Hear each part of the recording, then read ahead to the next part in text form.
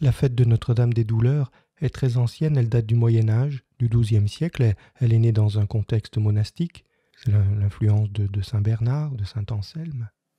Elle a beaucoup évolué au cours de l'histoire, elle s'est déplacée dans le calendrier liturgique, elle a été associée aux sept douleurs de la Vierge Marie, et la fête s'est fixée euh, au 15 septembre en 1913.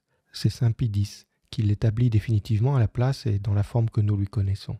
Alors il y a une double intégration dans le cycle de la liturgie, puisque le 15 septembre, c'est d'abord l'octave du 8 septembre.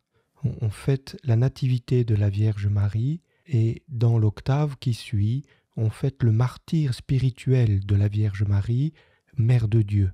Aujourd'hui, on mettrait en avant la, compassion avec les souffrances du Seigneur et, le titre de, de corédemptrice qui a été tellement discuté. Mais évidemment, le 15 septembre, c'est aussi le lendemain du 14 septembre, c'est-à-dire qu'au pied de la croix glorieuse se tient debout la Vierge Marie dans son mystère de maternité spirituelle.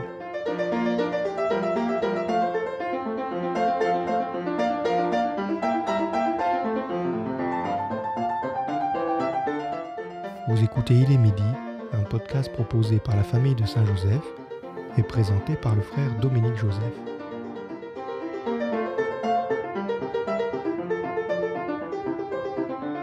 Pied de la croix glorieuse se tient debout dans l'espérance et dans la souffrance la Vierge Marie, Notre-Dame des sept douleurs, celle que Jésus donne pour mère aux disciples. Elle est au pied de la croix et c'est là qu'elle devient mère, pour nous faire comprendre que la maternité de Marie doit se vivre comme un mystère d'hospitalité. Elle attire à elle ses enfants là où elle est, au pied de la croix.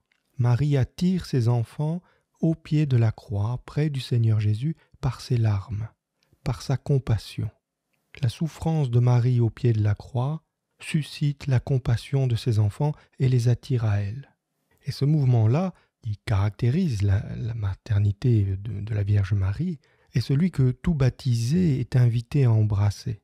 C'est-à-dire qu'en nous tenant aujourd'hui spécialement, mais tous les jours de notre vie, bien sûr, au pied de la croix, par notre compassion et par nos souffrances, nous attirons à notre tour, ou nous sommes censés attirer à notre tour, les âmes que le Christ veut vivifier par son précieux sang, par l'effusion de son précieux sang.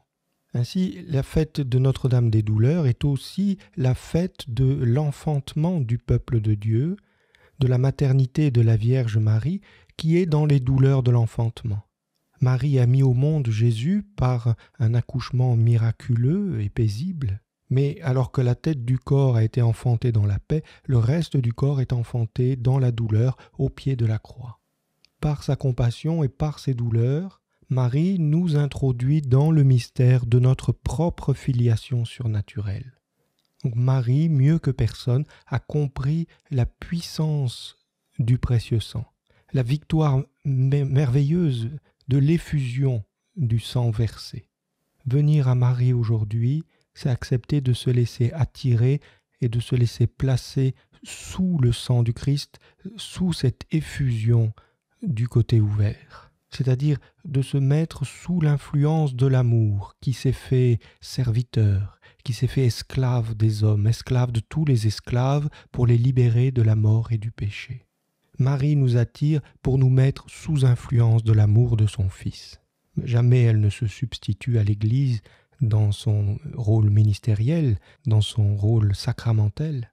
Elle ne donne pas directement la puissance du sang de Jésus, mais elle nous place sous son influence, elle nous attire au pied de la croix avec elle. Demandons la grâce d'être touchés par la compassion de Marie aujourd'hui, de percevoir comment elle vit l'abandon au Père, dans l'adoration, dans la paix, comment elle intercède pour les pécheurs, dans la pleine connaissance du mystère de miséricorde, dans l'intense souffrance de ce combat pour la vie et dans lequel elle devient notre mère. Frères et sœurs, il est midi, l'ange du Seigneur porte l'annonce à Marie.